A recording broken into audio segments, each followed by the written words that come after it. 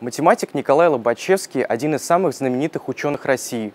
Будучи у истоков невклидовой геометрии, Лобачевский вписал свое имя в историю мировой науки своими революционными открытиями.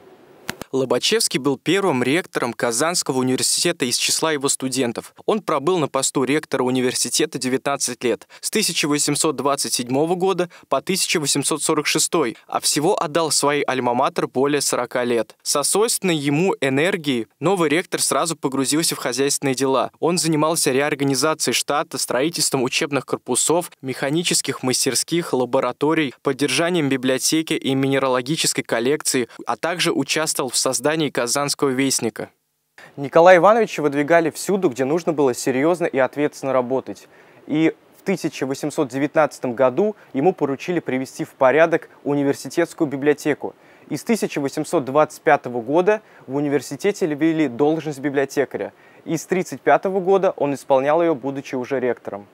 Также, помимо библиотеки, при Николае Лобачевском в университете был создан большой физический кабинет, построена обсерватория, клиника и отремонтированы другие здания. По его инициативе начали издаваться ученые записи Казанского университета. Одновременно с преподаванием Лобачевский читал научно-популярные лекции для населения и неустанно развивал и шлифовал главное дело своей жизни – неевклидову геометрию.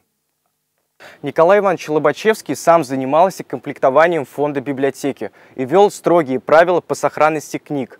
Он придумал ставить вместо книг деревянные муляжи-заместители со значением, какая книга, кем и когда взята.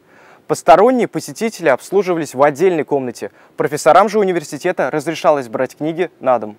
Имя Николая Ивановича Лобачевского – величайшая гордость русской науки и философской мысли, и библиотекари по праву гордятся, что гениальный математик принадлежал к их цеху. Первый набросок новой теории, а именно доклад «Сжатое изложение начал геометрии» Лобачевский сделал 23 февраля 1826 года. Именно эта дата считается днем рождения невклидовой геометрии.